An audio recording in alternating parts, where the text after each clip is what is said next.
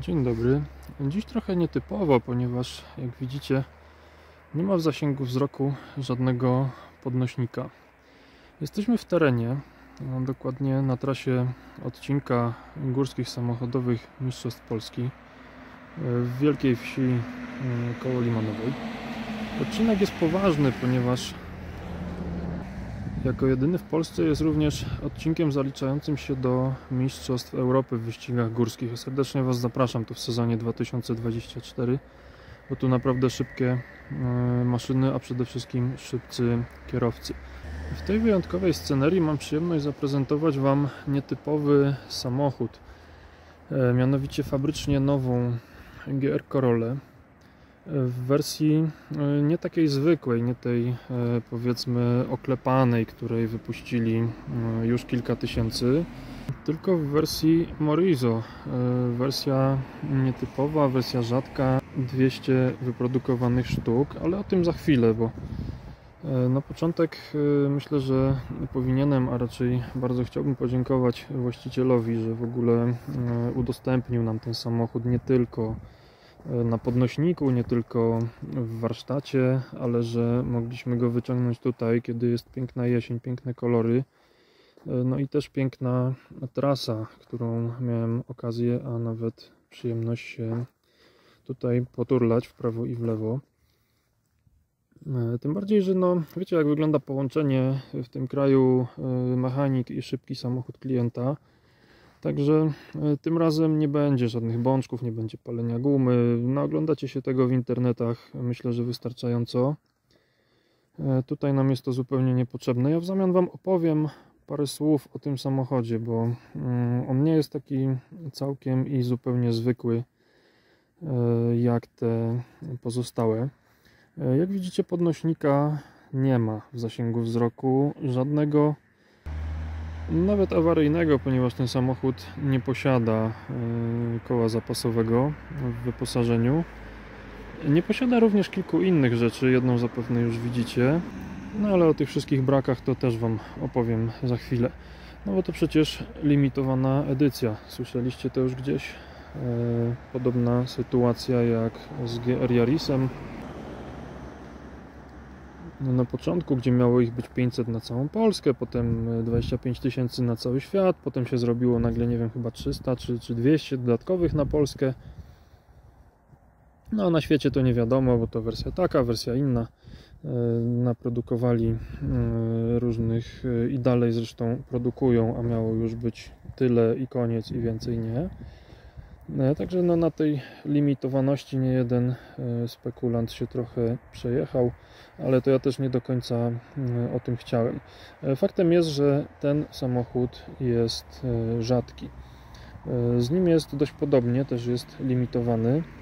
Miało ich być wprawdzie 200 w ogóle na cały świat, ale potem się okazało, że te 200 to tak tylko na Amerykę i to w sumie tylko w pierwszym roku produkcji, potem w kolejnym zobaczymy co zrobią. E, jak to jest, e, to ja do końca nie wiem. Nie chcę tutaj za bardzo się mądrzyć. Faktem jest, że ten egzemplarz jest jednym z 30 pierwszych wyprodukowanych. E, czy pierwszym w Europie? No zapewne nie. Czy pierwszym w Polsce? Nie wiadomo. Zakładam, że tak.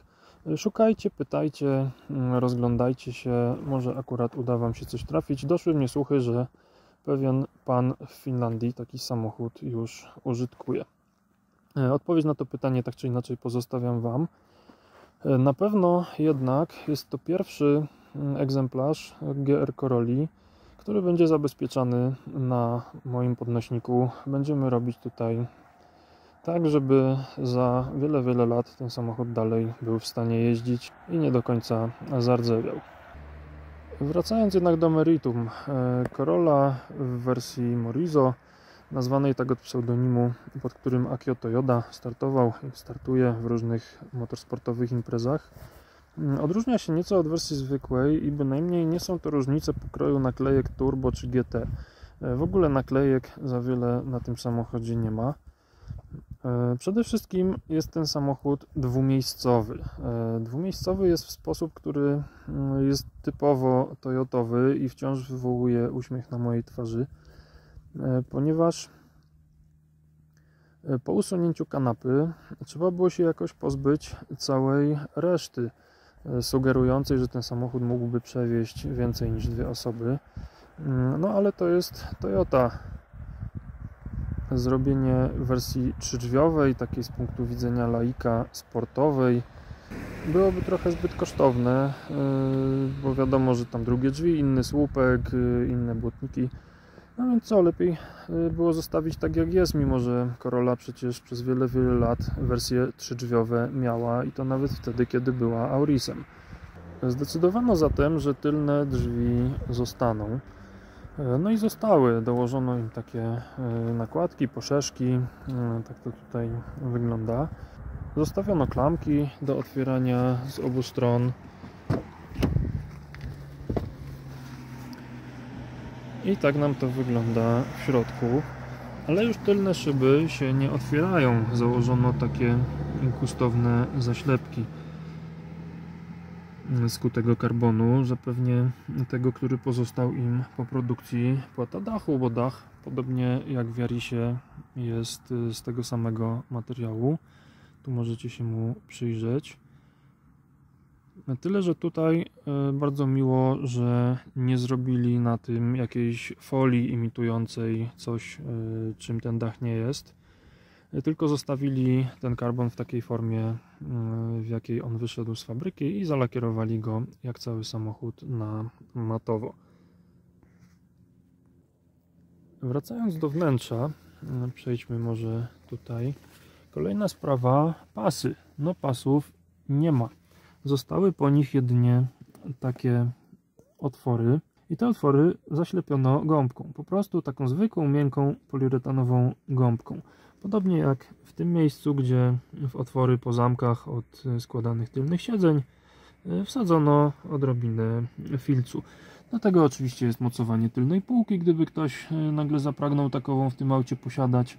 Także ze zwykłej Koroli, w razie czego półka w 100% pasuje, można założyć i, cieszyć się posiadaniem półki w aucie, które e, nie ma bagażnika. Wracając do braków, e, jak widzieliście już wcześniej, nie ma tylnej wycieraczki. E, no, po cóż by było robić szybę specjalnie do tej wersji, skoro z każdej innej pasuje? Wystarczy dać taką czarną plastikową zaślepkę i wszyscy zadowoleni. No i takich zabiegów tutaj jest jeszcze kilka. Różne te wszystkie odelżania poskutkowały tym, że ten samochód jest o prawie 50 kg lżejszy od regularnej Coroli i myślę, że docelowa grupa nabywców będzie w stanie mm, to jakoś wykorzystać. Napęd, y, napęd jest jarisowy. Przejdźmy może właśnie pod maskę. Zaraz tutaj otworzymy. Jeszcze zanim dojdziemy do tego napędu, to Wam pokażę odrobinę wnętrza. Kierownica znana z Yarisa. Niestety wyświetlacz, nie chcę tego komentować. Brakuje mi tutaj analogowych zegarów jak powietrza. Gałka e, taka z Alcantary, sygnowana Morizo, e, sześciobiegowa skrzynia znana z RAV4. E, troszkę ma skrócone przełożenia. No zaraz Wam jeszcze pokażę jak to wygląda pod maską. Troszkę ma skrzynia skrócone przełożenia i pierwsze, drugie, trzecie, e, żeby ten samochód był odrobinę szybszy. Silnik i napęd znany z Yarisa, czyli e, skrzynia z RAV4 z dodanym torsenem. Do kompletu tam krótsze przełożenia pierwszego, drugiego, trzeciego biegu. Rzeczywiście to czuć, bo samochód jest od GR Yarisa cięższy, ma większe koła, a mimo tego dość trudno jest go zgasić przy ruszaniu, co w Jarisie zdarzało mi się nagminnie, zapewne dlatego, że nie potrafię samochodem jeździć.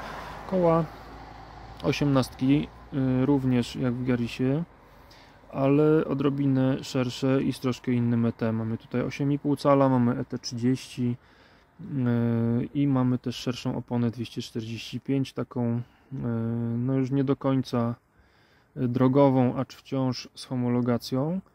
E, tyle, że no opona w takich warunkach, jakie mamy dzisiaj, jest odrobinę chłodno. E, rano było tutaj trochę wilgotno. Silnik Tak jak wspominałem, Jarisowy G16 GTS, trzycylindrowy, pojemność średniej wielkości czajnika. No, jeździ bardzo przyzwoicie. Na pewno jeszcze bardziej przyzwoicie będzie jeździł, jak już będzie dotarty. Ma więcej newtonometrów od Yarisa i od zwykłej Corolli GR, bo ma 400 newtonów w zakresie niecałych 1500 obrotów. No wiadomo, z pustego i Salomon nie naleje, troszkę tutaj dodmuchali. Myślę, że tak w granicach rozsądku. Mocowo jest dokładnie taki sam jak w Corolli, ma 300 koni, czy tam chyba 304 w japońskiej specyfikacji. No i tyle właściwie z nowinek technicznych. Zamykamy maskę, przechodzimy dalej. Kod hamulcowy z GR Yarisa 306 z tyłu, 357 z przodu, czy tam 356 na 28 z tyłu, 306 na 18, 18 245 40 18 no sporo negatywu bardzo samochód jest responsywny bardzo fajnie się prowadzi. Do tego mamy specjalnie zestrojone pod to auto amortyzatory i sprężyny ale o tym wam poopowiadam już może jak będzie to wisieć na podnośniku. Tymczasem chciałem wam jeszcze pokazać wydech Ma trzy końcówki, z czego dwie są otwarte cały czas, a środkowa jest sterowana klapą. Jeśli chcecie, to jeszcze zrobimy tak. To tam odblokowuje podobno nawet w GR Yarisie jakieś dodatkowe możliwości. W związku z czym no na pewno ktoś to już tam wcześniej przewidział.